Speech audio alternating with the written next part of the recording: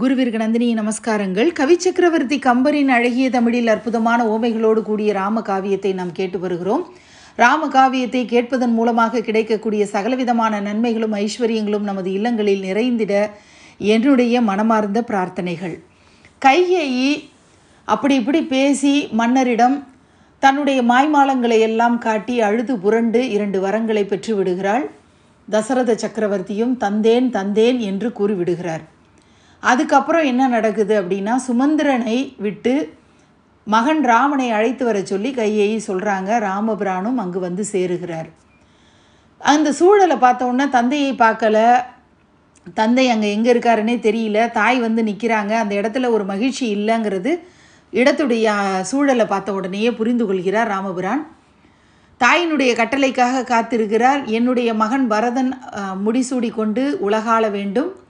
நீ ஜடாமுடி தரித்து கொண்டு தவத்தில் ஈடுபட வேண்டும். இதுவே உன்னுடைய தந்தையின் கட்டளை ஆசை என்று கையேயி சொல்லிடுறாங்க. இதை எங்கள் அப்பா தான் சொல்லணும்னு இல்லை. நீங்கள் சொன்னாலே ஏற்றுக்கொள்ளக்கூடிய நிலையில் தானே நான் இருக்கேன். உங்கள் கட்டளையை நான் மறுப்பேனா? அப்படின்னு சொல்லி தொழுது வணங்கி நான் கானகம் போகிறதுக்கு தயாராக இருக்கேன். என்னுடைய தம்பி பரதன் செல்வம் பெற்று ஆளுகிறான் அப்படின்னா அதில் எனக்குத்தானே பெருமை எனக்குத்தானே சந்தோஷம் அப்படிங்கிற மனநிலையில் ராமபிரான் இருக்கிறார். இந்த பாடலில் ஏற்கனவே ஒரு செய்யுள் நம்ம பார்த்துருந்தோம். பின்னவன் பெற்ற செல்வம் அடியேனன் பெற்றதன்றோ அப்படின்னு சொல்லி ஒரு வார்த்தை அங்கு அந்த ஒரு வரியை குறிப்பிடுகிறார் பகவான் ஸ்ரீராமர். என்ன சொல்கிறாருன்னா எனக்கு பின்னாடி பிறந்தவன் ஒரு செல்வம் பெறுகிறான் அப்படின்னா அது எனக்கு கிடைச்ச மாதிரி தானே எனக்கு மகிழ்ச்சி கிடைக்கணும் அப்படின்னு சொல்லி பொறாமையற்றவராக சகலவிதமான அந்த ஒரு நற்குணங்களின் குவியலாக அங்கு பகவான் இருக்கிறார். அந்த இடத்துல அவர் என்ன சொல்கிறாருன்னா ராமன் குறிப்பிட்டது போலவே இந்த செல்வத்தை நான் பெற்றால் என்ன என் தம்பி பெற்றால் என்ன?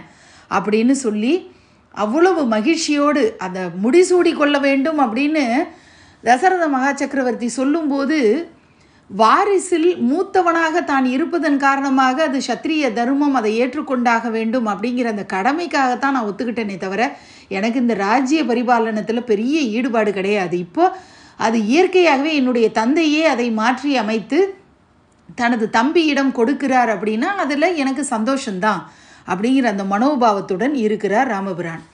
ராமன் கைகையிடம் விடைபெற்று கொண்டு அவளை தொழுது நமஸ்கரித்து விட்டு தன் தந்தை இருந்த திசை நோக்கி வணங்கி அவரால் பார்க்க முடியல.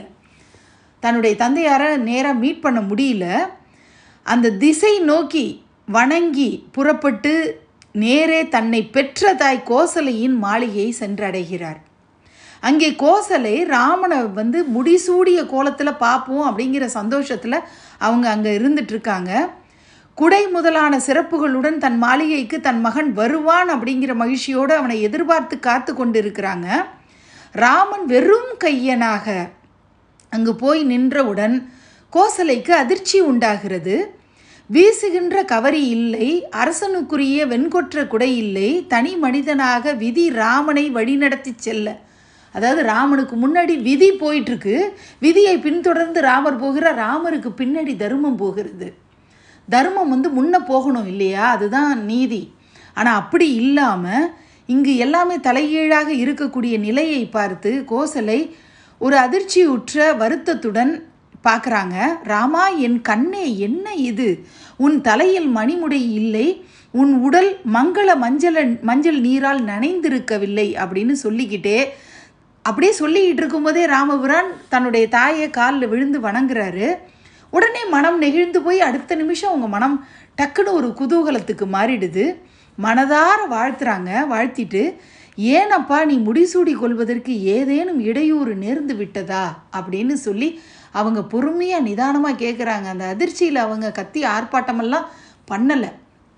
ரொம்ப நிதானத்தோடு கேட்குறாங்க நடந்தவற்றையெல்லாம் தன் தாயிடம் சொன்னால் அவள் மனம் உடைந்து போவாளே? அப்படின்னு ராமபிரான் யோசிக்கிறார். இவ்வளோ விஷயங்களும் நடந்துருச்சு அப்படின்னு சொல்லும்போது தாய் துடித்து போவாளே அப்படின்னு நினச்சி கைகளை கூப்பி தன் தாயை கும்பிட்டு அம்மா உன் அன்பு மகன் குற்றமற்ற குணமுடைய பரதன் முடிசூட போகிறான் அம்மா அப்படின்னு சொல்கிறார் அம்மா பரதன் வந்து முடிசூடி ஆள போகிறான் அப்படின்னு சொல்லும்போது உன்னுடைய மகன் என்று குறிப்பிட்டு அந்த இடத்துல அவ்வளவு ஒரு அழகான வார்த்தைகளை அங்கே இட்டு நடந்த எந்த ஒரு துயரம் தரக்கூடிய சம்பவங்களையெல்லாம் நினைத்து நினைவு கூர்ந்து அதெல்லாம் சொல்லி தன்னுடைய மா தாயை வந்து கஷ்டப்படுத்த விரும்பலை.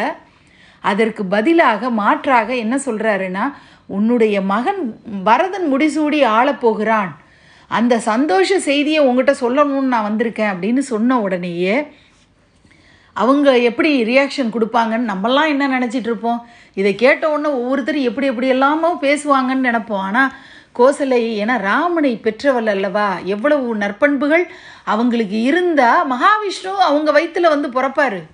அப்படின்னு நம்ம நினச்சி பார்க்கணும். அப்படி இருக்கும்போது கோசலையினுடைய நற்பண்புகளை வெளிப்படுத்தும் பொருட்டு அங்கு ஒரு காட்சியை கம்பர் குறிக்கிறார். அப்படியா? உன்னை காட்டிலும் நிறை குணங்கள் உடைய பரதன் நல்லவன். மகாவிஷ்ணுவை விட ஒருத்தன் நல்லவன்னு சொல்லி அங்கே தாயார் சொல்கிறாங்க தன்னுடைய மகனை விட சிறப்பு வாய்ந்தவன் பரதன் அப்படின்னு சொல்கிறதுக்கு ஒரு தாய்க்கு எவ்வளவு பெருந்தன்மையான குணம் இருக்கணும். அதை தான் இங்கே வந்து நம்ம நினச்சி பார்க்கணும்.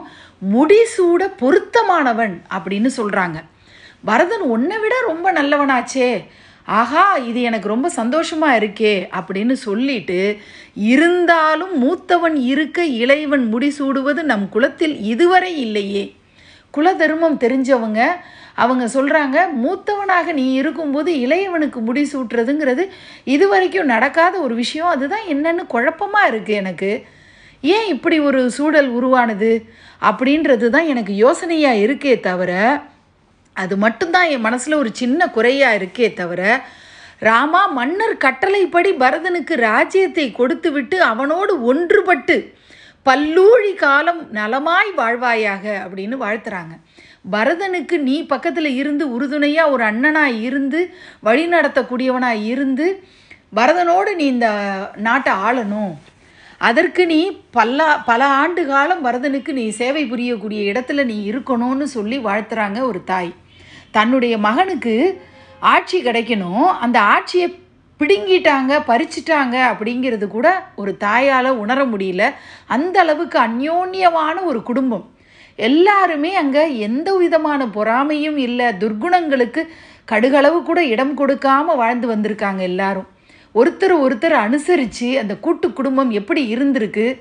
அதில் எல்லா விதமான குணங்களும் நற்பண்புகளுடைய குவியலாக தான் அந்த குணங்களுக்கு அடிப்படை ஆதாரமாகத்தான் அந்த குடும்பம் இருந்திருக்கு.